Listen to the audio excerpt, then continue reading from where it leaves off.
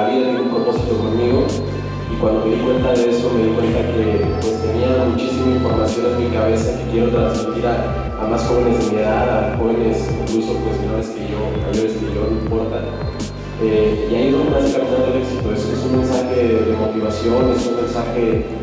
de éxito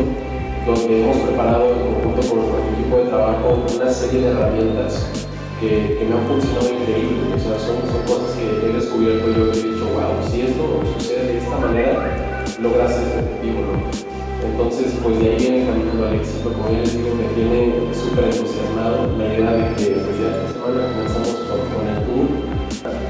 Sabremos que vamos a, a, conquistar muchas mentes, vamos a crear muchos casos de éxito. Lo platicamos con Nancy, la idea es que al final de este año impactemos la vida de 20.000 jóvenes. Que vean que es alguien de su ciudad, primeramente, que es un chavo de, de 20 años como ellos y que las cosas pasan y cuando te conectas con, con, tu vida, con lo que quieres realmente, cuando, cuando llenas tu persona de creencia, de propósito, las cosas pasan. Para nosotros es bien importante trabajar con jóvenes talentosos de la ciudad de Chihuahua, ser nosotros quienes den espacio de expresión, lo hicimos ya en el mes de febrero con la campaña Llevamos Chihuahua, donde teníamos un joven ahí ilustrador que nos estaba acompañando,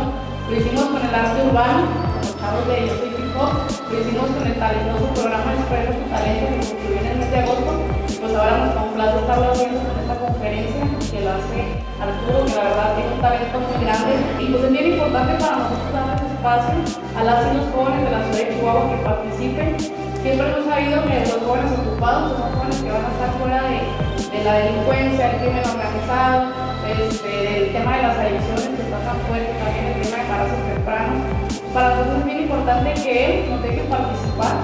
y aprovecharnos, no sé su talento, para nosotros ser ese vínculo con las escuelas preparatorias y universidades. En este caso, iniciamos ya el día 22 en, la Universidad Autónoma de Chihuahua con una plática en la Facultad de Ciencias Políticas.